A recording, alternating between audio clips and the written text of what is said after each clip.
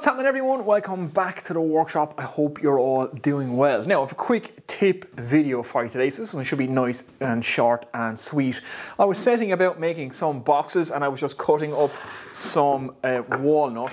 I split this board in half and I thought to myself that's quite a nice book match so I might actually join these two pieces together instead of using them for little boxes which is what the video I had intended to make was supposed to be about. But uh, I thought what I'd do is I'd show you how I book match timber, how I do it by hand and how I joint two boards together by hand and we make a little jig to glue this up as well in this video. So without further ado, let's get in for a closer look at what we're about to do here and uh, we'll joint and book match two pieces of walnut by hand. Let's do it. Okay, so here is the board in question, and you can see after I split it, it has a quite a nice book match. So this might do for like a large box top or a side of something. It has a quite nice pattern in it. So here is our original board. Now there's a couple of things about working with wood and the joys of wood is when you cut something, you never quite know how the wood is going to react. So I just dimensioned this one up and I split it on my bandsaw and you can see the major gap I have in it now. So this board when you cut into timber, it releases tension. So that's one thing you should understand about working with wood. It can surprise you. So you can see I have quite a big gap in here now. So this board actually cupped this way and it has cupped slightly this way as well, which is a bit of a pain. But like I said, I was making these to make a top and a bottom for some small little gift boxes that I was planning on making a video of. But when I open them up, I saw this was quite a nice book match. So we're going to join this together. Now, it's a little bit of an issue that the boards are slightly cupped and stuff. It shouldn't be too big a deal, but we will have to re-dimension this after we re-glue it. But uh, what I'll do is we'll save the book match because it's so nice. So let's get on and do that now. I'll show you how to joint these two edges by hand. We have a nice big gap down here. It's not a very good jointable edge, so uh, we don't want to see this when we have this glued up. Um, so let's get on and do that now. Oh, okay, so I'm going to use a hand plane to get a nice jointable edge in this. I'm going to use my five and a half because the boards aren't that long. If they were really long boards, you could use the number seven. And I'm also going to use the Moxon vise just to hold this in. So we'll get the Moxon vise set up on the table here. And then we get our two boards in the vise. I'll show you how you join them together so that even if your angle is off square, you still get a good joint. So let's do that. Okay, we're to take our piece and set it up in the vise and we're going to plane both jointable edges at the same time. Now the reason I decided to make this video is because the book match actually makes this nice and simple. So you guys can get the idea of how you turn these two pieces of timber. So what you want to do is now is actually close the book. You'll see what I mean now. So when I'm joining these two edges together, what I'm going to do is I'm going to put them back to back like that in the vise. So remember, we want to now, that's an open book we can take it as, and now we want to close the book. And now we're going to put this in the vise and we're going to plane both of these edges together. That way, if we're slightly off square, one angle will compensate for the other angle and we can get that nice jointable edge. So it all makes sense now in a minute. Now, just looking at these two pieces, they are continuing to move. So I've literally just split these about five minutes ago and now I have two walnut bananas rather than two walnut boards. So you can see just how much wood can move when you split it and you release that tension. So the Moxon vise may not work now because I need to clamp these boards completely and the Moxon vise is not deep enough with the screws. We may have to use the bench vise instead. So let's do that. Right, so I'm going to use my bench vise so I can clamp this because these boards have sprung so much just to make it easier. And I, like I said, I want to maintain the book match. Now, if you were just jointing two boards and you weren't trying to book match them and you had two perfectly flat boards, you wouldn't have to go to all this trouble. But uh, I want to keep this book match, so I'm going to do this. So again, we want to close our two pieces just like this. Get them in the vise. So I want to get this nice and lined up this vise is nice and deep so I can I can actually compress these two boards together in this vise And I want to clamp the two ends as well because they're slightly sprung apart. So we just get these F clamps on. Okay, so that's our piece all clamped up. Now, I'm just going to plane, like I said, both of these edges together. Now, I don't have to keep this perfectly square. I'm going to try and keep it as square as I possibly can. But if the plane tilts left or right slightly and I put a slight angle in these, that angle will be cancelled out when I open the book again, which is the beauty of doing both of these simultaneously at the same time. So a few strokes of the hand plane and we should be good. Now, I have a nice razor sharp hand plane here. It's freshly um, sharpened up. One thing you always want to check as well when you're doing any of this kind of work is that when you extend the blade out, make sure that that is perfectly square to the sole. Um, sometimes you can just pick up your hand plane and your blade isn't perfectly square and that will set you off on the wrong foot straight away. So let's get planing this. Okay, so we're just going to take a couple of strokes on this. We don't shouldn't have to do too much. We just want to get these two edges nice and flush with each other. Like I said, I have a razor sharp plane here. Now, I have a good bit to take off this end. These two are already jointed, so we get the whole lot matching down. So I like to just keep some pressure on the toe of the plane when we're driving into it, and then you can equalize that pressure as you get through. A little bit more pressure on the back toe, and uh, just follow on through until we get two full length shavings.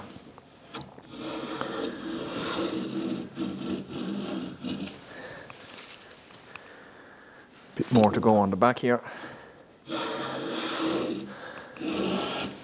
And like I say, if we plane a different, if we plane a slight angle into this, when we join the two of these back together, they will cancel each other out, which is the beauty of doing this.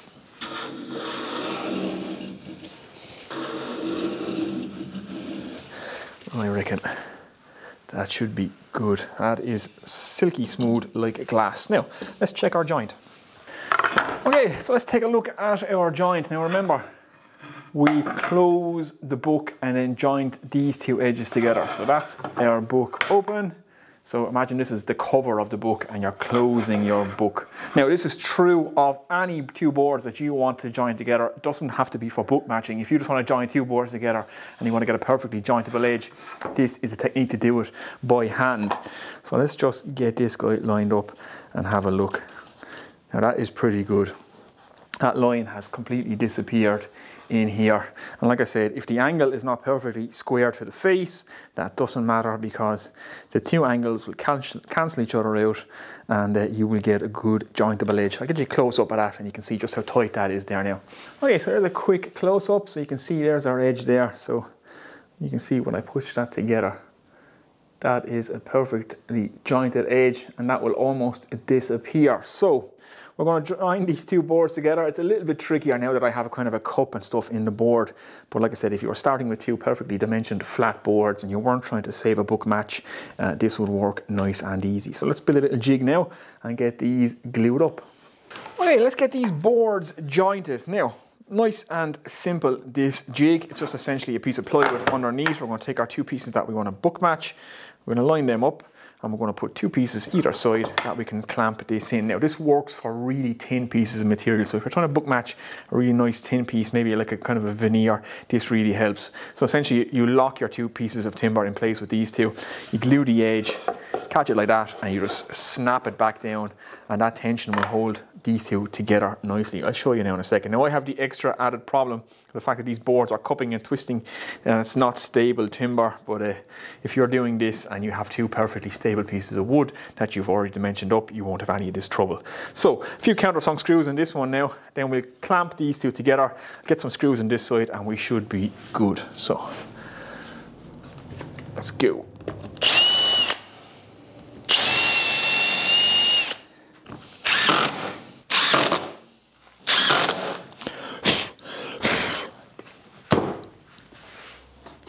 Okay, so we're almost ready for glue up. Now I've added two body clamps. Now ordinarily I wouldn't do this. I would have just compressed the two of these, put screws in this side as well, and that's your jig more or less set up. So how you would use it then is you would pop your two pieces up, you would glue the edges right here, and you would just line the two of them back up until they, they touch again, and you would just snap them in place. So you would literally just catch it like that, and you would snap it down in place and the tension between the two of those would hold those two pieces together and that would be all you needed.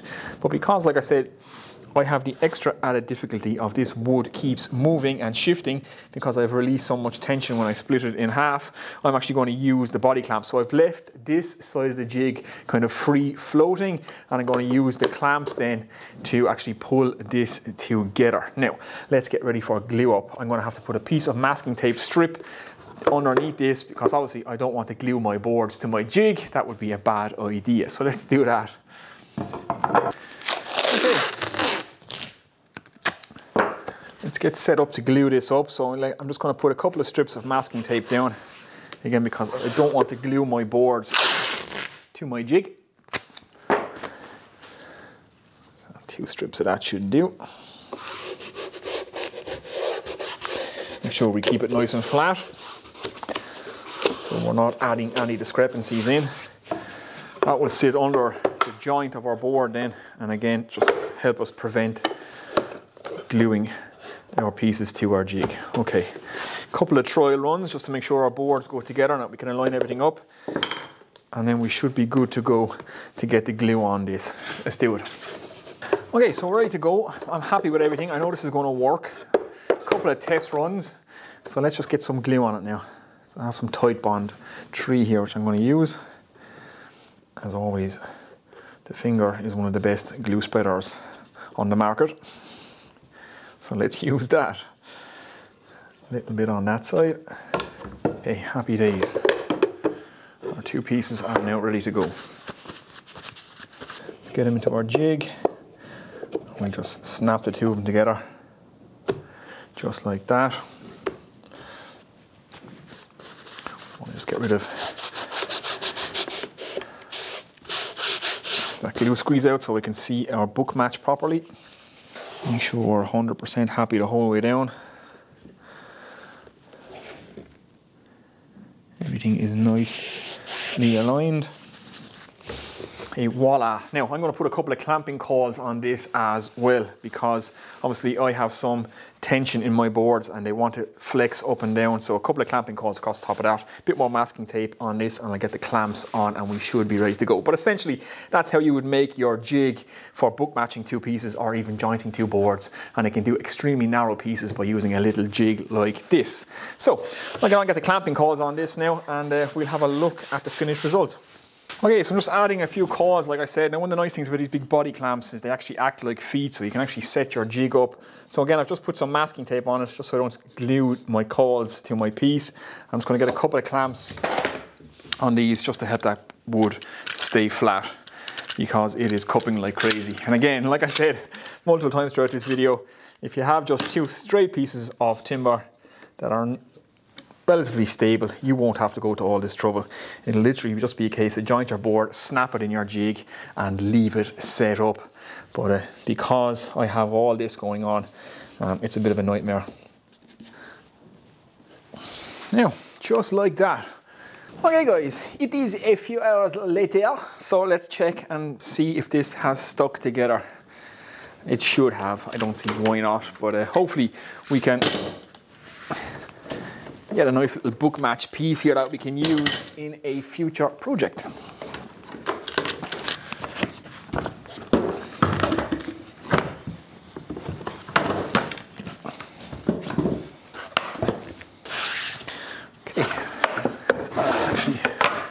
Doesn't look too bad. And at least we have more board to work with now so we can take the cups out of these boards without losing too much out of each of them. The reason why I didn't actually uh, put these back through the planer, take the cup and stuff out of them, because I would have lost way too much material and uh, they would have got very, very narrow by the time I took the cup out of the two boards. But by joining the board together, flattening it out a small bit, I might be able to just take down an edge or two and save most of the material. So, I'll give this a shot of a hand plane now and let's see how successful we are.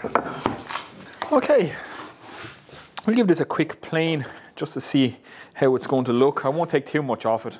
I'll wait until I'm going to use it in a project and then I'll give it the final dimension. But I'm just going to give it a quick plane up just so you guys can see. And hopefully we have a pretty decent jointed edge. If we have done our job.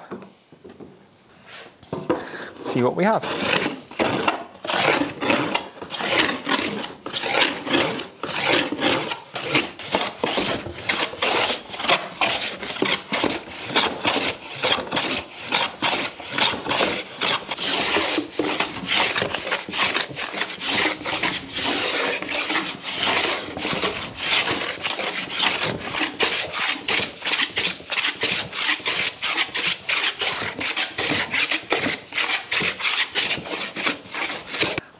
There we go. I just roughly planed this flat, the side that I want the book match on. Now we have an absolutely beautiful joint here. There is no gap absolutely in that whatsoever. However, my book match did slip slightly. So I always show the mistakes on this channel as well as the successes. So it has just slipped slightly in the jig. That's my fault in my haste. So let that be a lesson to me and hopefully to you guys as well to check and recheck, make sure that everything is nice and lined up and especially when you walk away from it, um, that everything is still held in place. It just slipped a tiny bit. So it's not quite matching up, but still a really beautiful joint. So this technique for uh, jointing two boards uh, works and it works really, really well. So let me get you in for a close-up of the joint. I'll get you right in a close on it. I'll pour some um, spirits on this so you can see the grain a bit clearer and uh, you guys can see for yourself.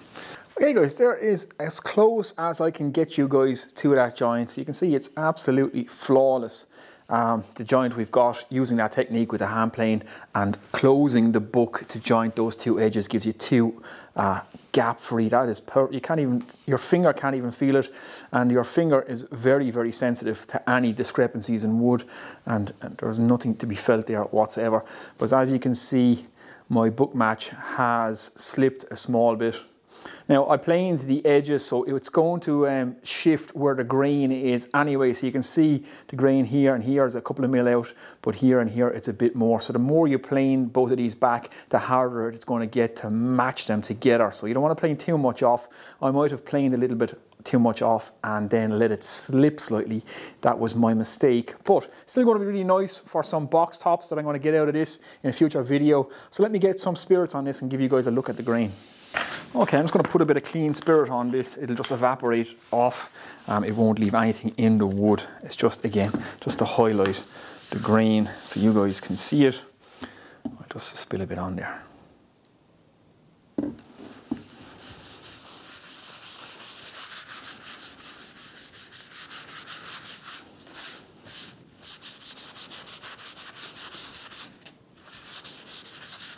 So there we go. That should be a really nice figure for a box top.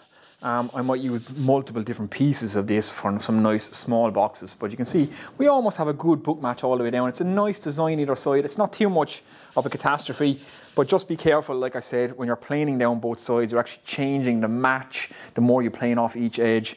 And if it slips slightly in the jig as well, it won't quite um, line up. But I still think that is fairly pretty. What do you guys think?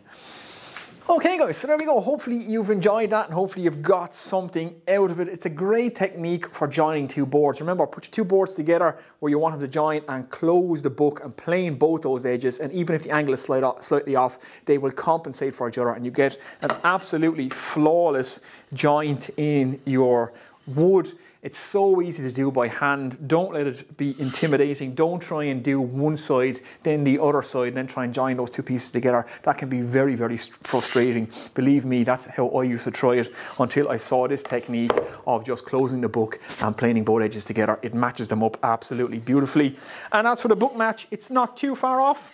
Um, again, I might have planed down either side a little bit too much, but it's still an actually pretty and beautiful design. It's almost like a tiger stripe pattern we have there now, which is quite nice, and that will look nice in some of the boxes. And again, it wasn't the video I intended to make. I was busy preparing some of this red oak to make some nice little uh, handmade gift boxes or keepsake boxes, and I was going to do a walnut top and bottom on it. We're still going to do that in an upcoming video, but uh, just I wanted to show you guys how to joint two boards and uh, get that nice flawless edge. So hopefully you've enjoyed it again, guys. If you have, give the video a thumbs up, comments and questions below as always. Thanks as always to everybody over on Patreon who continue to support the channel. Very much appreciated, guys. I'm going to get out of here now. That's two boards perfectly jointed together. Not quite a perfect book match, but uh, yeah, a good video nonetheless. I'll see you in the next one, guys. Take it easy.